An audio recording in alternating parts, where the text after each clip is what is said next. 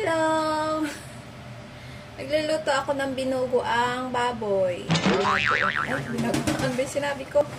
Binagoongan. Bagoong. Ito bagoong. Yung mayroong ano, talong. Ayan. Hindi ko na-videoan yung simulang simula. Kaya pinatay ko. Nauna ganyan. Actually, first time ko to. First time ko to. Ito, mantika to ng baboy. First time kong lutuin to. Dahil sinisipag na naman ako magluto ngayon.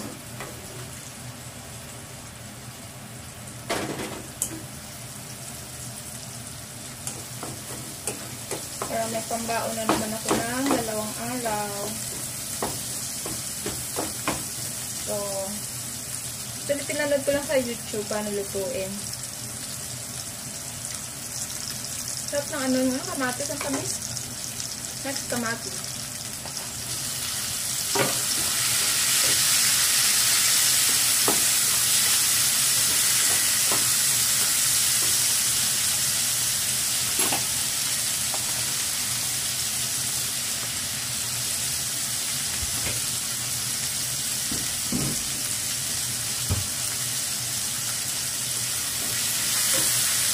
Ba ng hiwa ng kamatis ko? Dapat nilititan ko mo.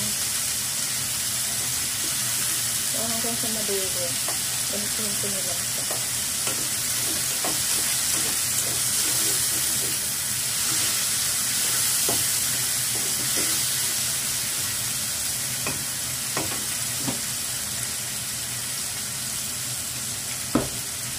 Tapos bagoong. Dito daw, pwede daw yung hilaw na bagoong alamang kaya yung luto na. Mas gusto ko itong luto na. Saka may flavor na kasi ito. Maanghang. Ito eh. Sarap ito.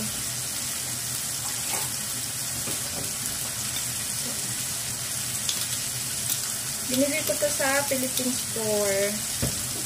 Malapit lang kasi Philippine Store dito.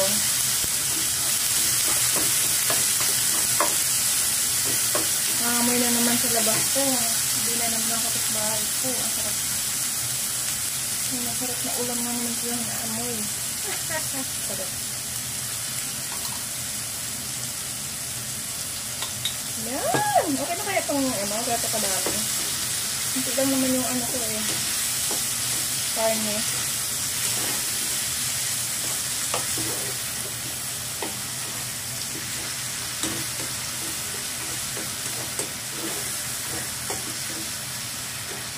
Karne. Ganyan ko ba? Lalagay ko tong sili kasi masarap kapag manghang.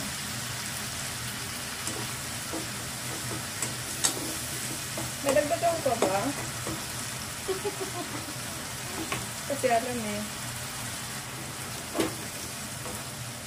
And then, yung karne.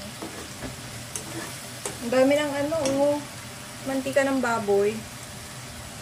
Gagamitin ko yung pang, pang ko yung tatapon.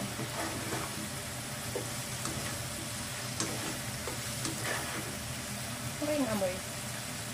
Wow! Ano yung bagoong na masarap. Maghiwa ako ng kamatis para lagay ko.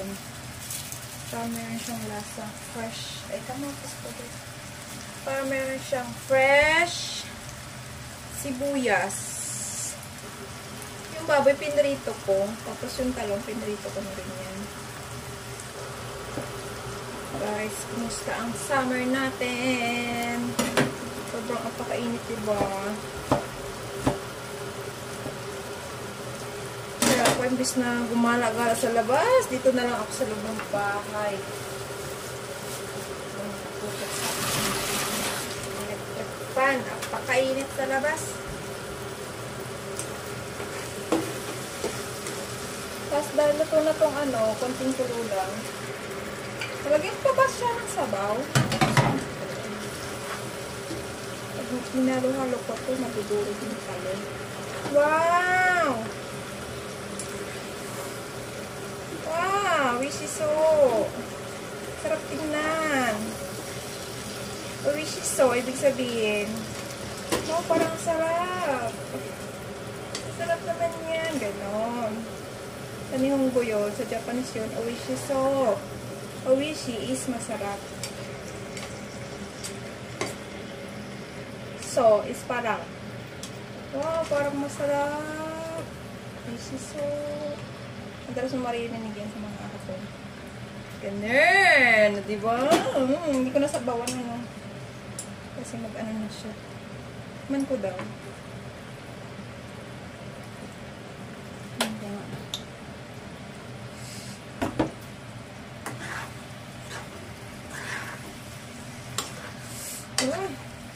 Papadami na naman kain ko nito. Mga kain. Eh, punta ako sa ano mamaya, Philippine store. Bibili ako ng sili.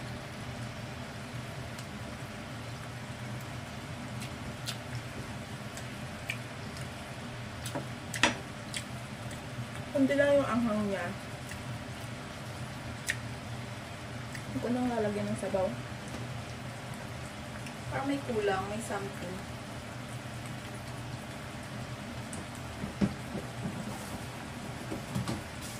May something na kulang. Paminta ba? Ano yung paminta?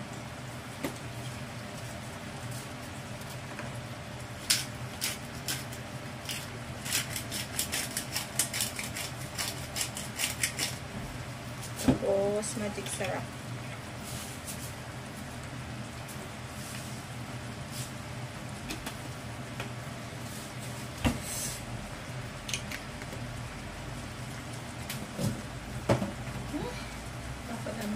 Lamon ko nito. Lagyan pa siya siya ng punting ano, lemon. Pamasin-asin.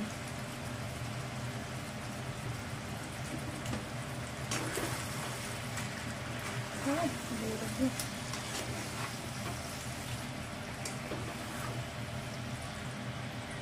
Diba, nadulog ng talong. Tayin ko na yung apoy kasi ilalagay ko na yung sibuyas.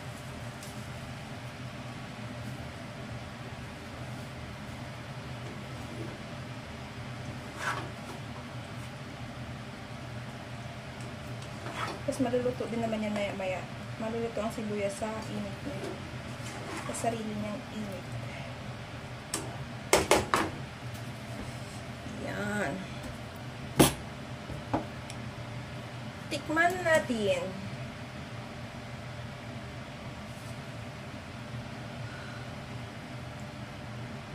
Yan siya. Tikman ko.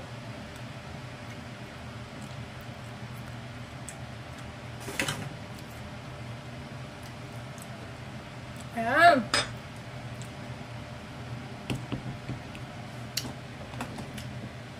Ang sarap. Ang sarap na. Naangang-anghang. Kita kaya ko?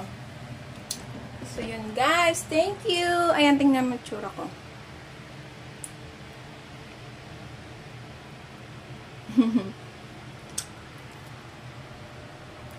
Yan. Tapos ng aking niluluto. Ginaguungang baboy sa talong. Ay, siso. Kakain na ako. Hmm. Taman. This is my room. Tingnan yung bed ko. Bagong palit. Bagong laba. Ito yung bagong pili ko kanina sa store. Yung umuunat. Umuunat. Yan na. Alas 7. 7 na dito. Yan na yung aking finished product. Isang kanin. Ito yung aking fruits juice. At isang banana. Ang aking dinner. Let's eat! Picturean ko muna ito.